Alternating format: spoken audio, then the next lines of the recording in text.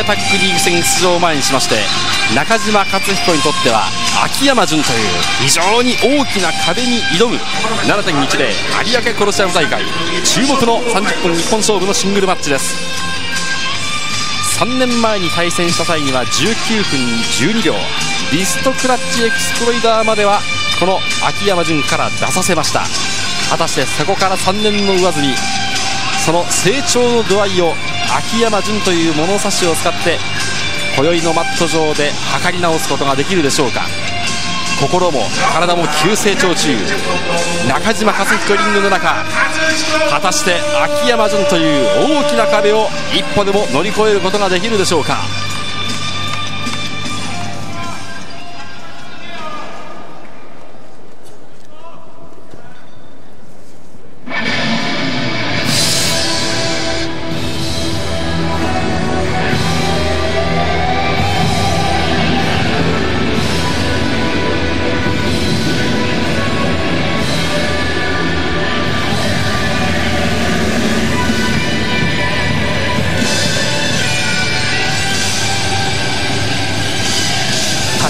くる若武者たちを受け止める。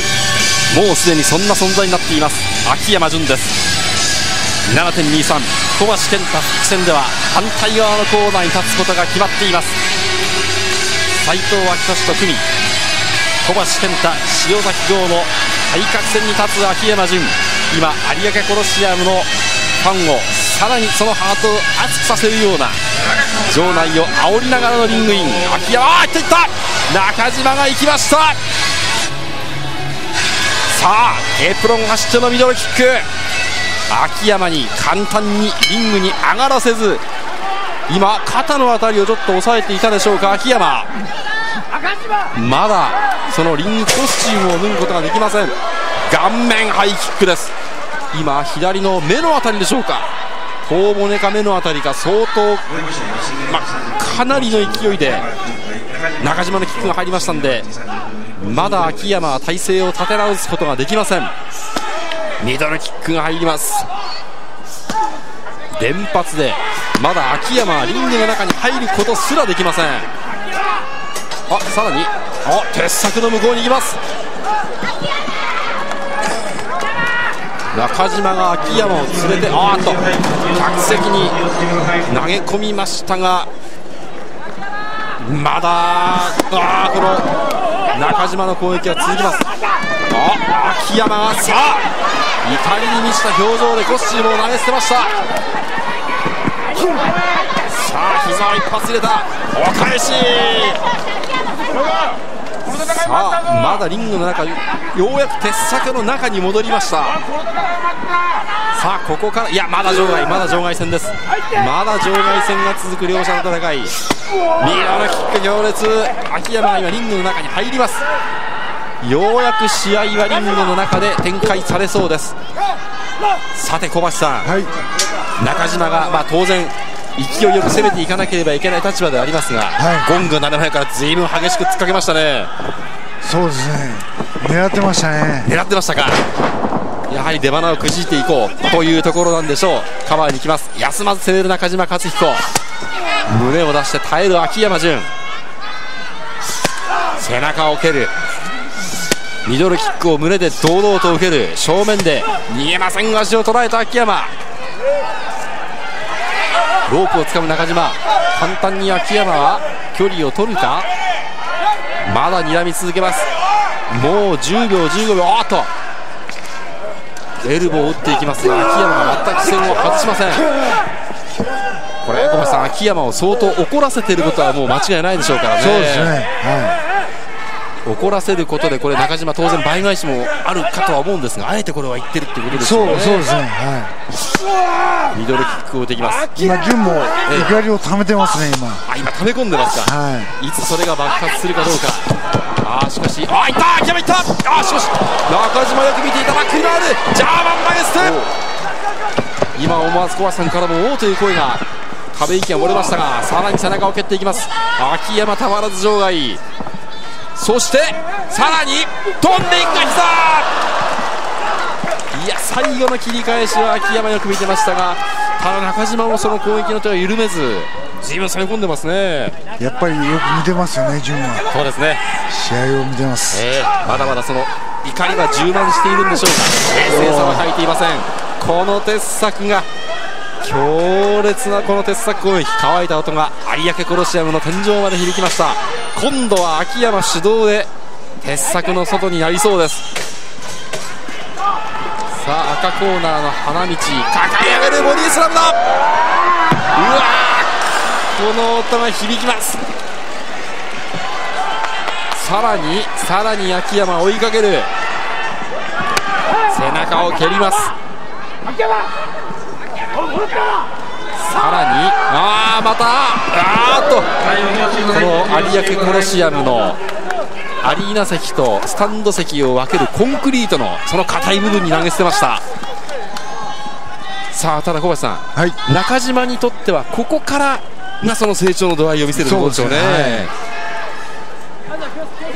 られっぱなしで終わるわけにはいきませんが膝。今一歩間違えばすぐ後ろがコンクリートの壁でしたから、は危ないところでした。さあ中島はここから立ち上がれるかどうか。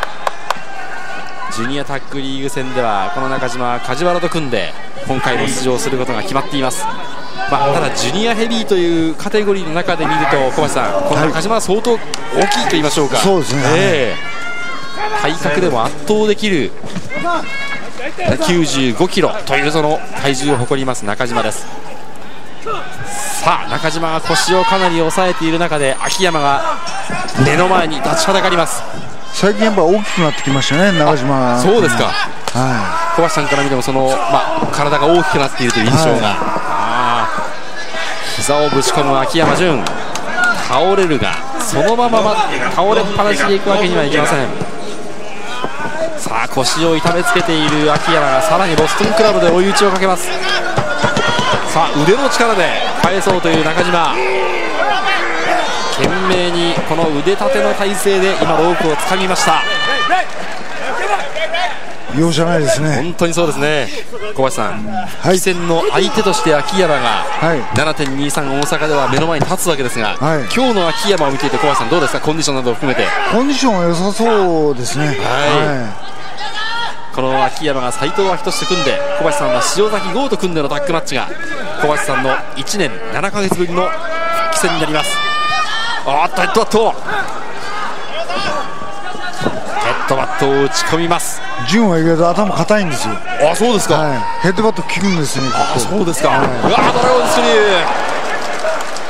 ー。もうこれは小橋さんのように対戦した経験のある相手でないとわからない話ですからね改めてこれ大阪での復帰戦小橋さんにとってはもちろんいい形で復帰戦を飾りたいでしょうが、はい。やはり相変わらず強敵という秋山純でしょうね。そうですね。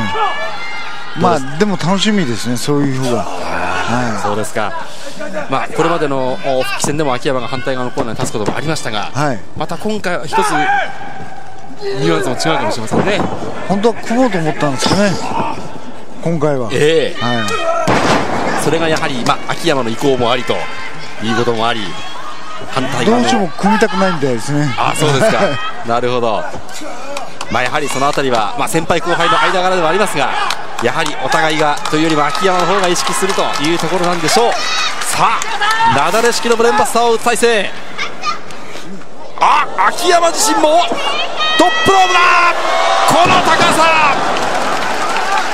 強烈に投げ捨てました秋山純珍しいですね。はいトップロープまで上がるっていうのは。秋山自身も上がりましたからね、ああ膝！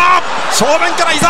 そのままカバー！かろうじて2ですがすぐさまフロントネックロック！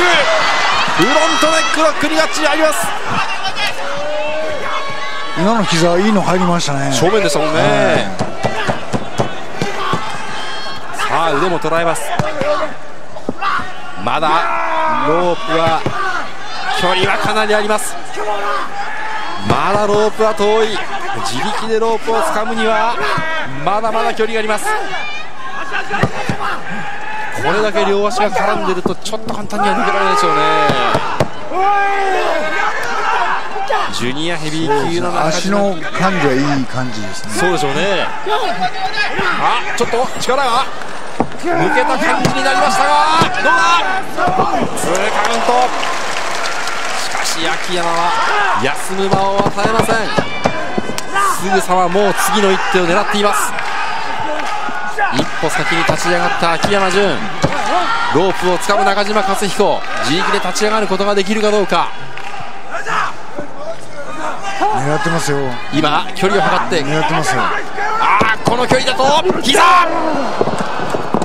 さらにエクスプロイダーと急角度川に行った膝からエクスプロイダー。しかし3つは許さない。今完全にこの膝が喉元か顎のあたりかはい。かなり深く入ってましたからね。入ってましたね。さあさらに距離を取りました。秋山走る。あしかしあスライディング。コーナーパットに打ちつけました。さあっと今あ顎顔ですか？今秋山鼻のあたりを押さえてましたけれども。顎ですかね。ですかね。今一発で秋山の体勢が崩れました。いい音しましたね。はい。今まさに放送席の目の前でドスッという音がは響きましたが今度は秋山です中島攻める。中島があーっとトランスキック一発。さらにブランバスター体勢垂直落下連発ださらにミラマキック打ち込んだ急いでカバー。あーっと肩はかろうじて上がりました。秋山。レフェリー札がカウント2を確認しています。さあ中島に訪れるチャンスの場面。もうすでに中島の顔面は真っ赤。バックに回るジャーマンの体勢ロープを求める秋山。自らの手でそのロックをほぐくかどうか。あっとフルネルソンフルネルソン。いや切り返した。膝もう一発膝あーっとこれは正面から入った。さらに膝正面衝突。いや小橋さんよく返しましたね今のは。いいい声しましたね完璧でしたが。うわー垂直落下。垂直落下エクスプロイダー。おおまだ3つは入っていません。入っていません。ニヤッと笑った秋山純リストクラッチを狙っていく。これで垂直落下リング中央。これで決まりました。ようやく決まりました。いやしかし中島も粘りましたが小橋さん改めて秋山の強さ。そうですね。かけましたね最後は余裕を持って。今日は寄せつけたかったですね。ああそうですか。いや今これニヤッと笑ってますよ。